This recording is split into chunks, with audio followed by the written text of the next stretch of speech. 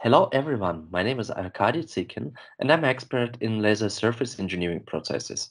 Today I would like to introduce you laser cladding technology. I try to do it in a simple words, in a simple way so everybody can understand and be fascinated as I am about the technology. Let's start together and look on a couple of slide examples what we talk about. Let's start from a history.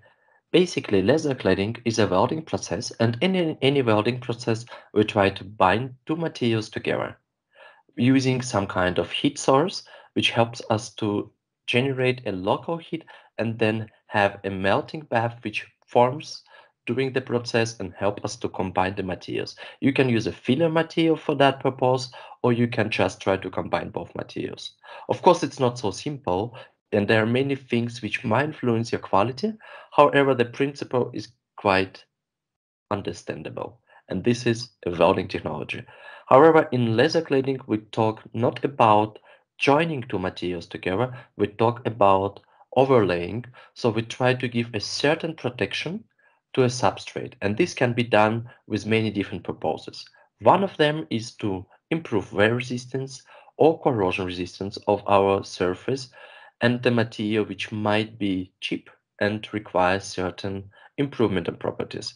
At the second stage, we just might repair some worn surfaces and geometrically restore certain components to their initial dimensions.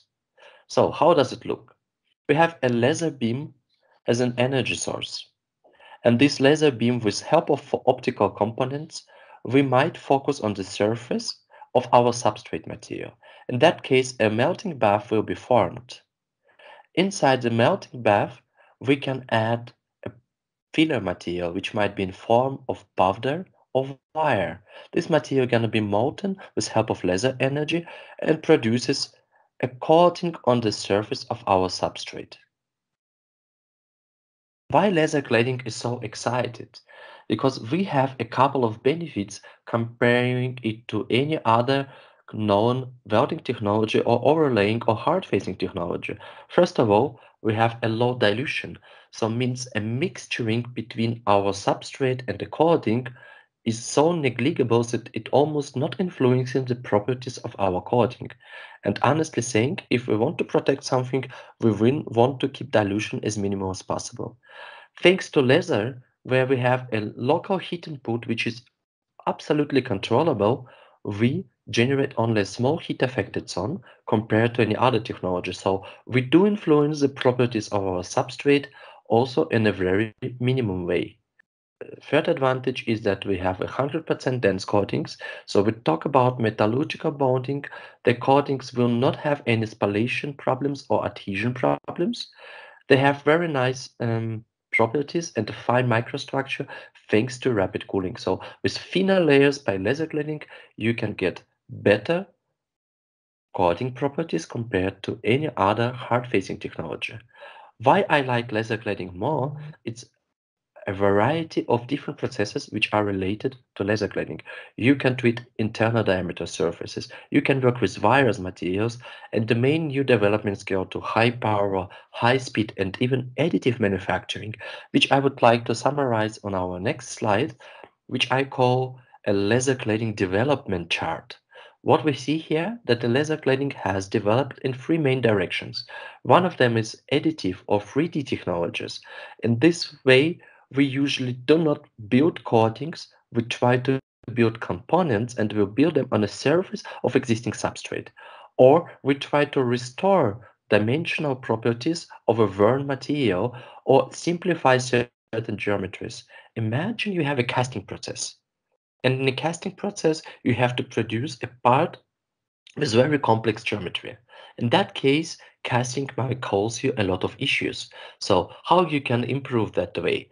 You can simplify your casting mode do a casting process which is still economical and advantage. And then at the end, you can build certain features using a DED or laser cladding technology to produce those more complicated structures.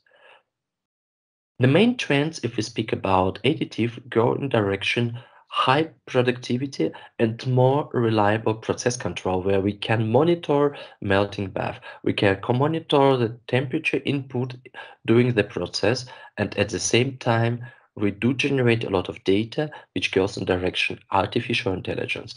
I believe in a couple of years laser cladding process uh, in 3D parts construction might be completely monitored and not only monitored but also controlled. That might be a very nice target for market to develop.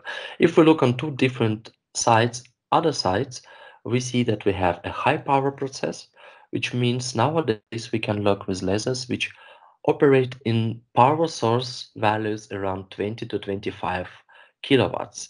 This helps you to work with around 20 kilogram of powder which you feed to surface constantly per hour, building thick coatings which might be up to 5 millimeter thick, still maintaining metallurgical bonding, heat affected zone. And imagine about the high productivity which we can achieve already with laser cladding. This technology nowadays can replace or can improve our understanding in direction what is the future of hard facing. On the left side, we have so-called high-speed process. This process is slightly different where for rotation symmetrical bodies, it's enabling to produce thin coatings under extreme fast deposition conditions. So we can rotate our parts with a speed around 200, between 100 and 200 meters per minute. And at the same time, we produce thin coatings, which have absolutely incredible surface roughness and at the same time they still maintain metallurgical bonding. I hope it was interesting for you to learn the basics of laser cladding. I will talk more about high-speed laser cladding, high-power cladding, DED in my separate videos. I will just make focus on different topic subjects, also laser surface hardening. I have a couple of ideas.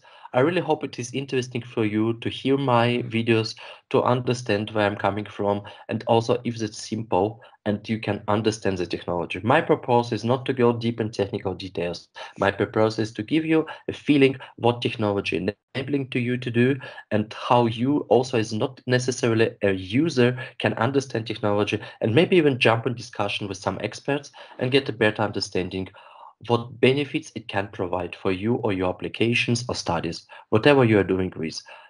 Let's stay in touch. Please follow me on LinkedIn. Please follow me on my YouTube channel. Like my video if you like it. I will be really happy about that. Appreciate your attention and let's stay in touch.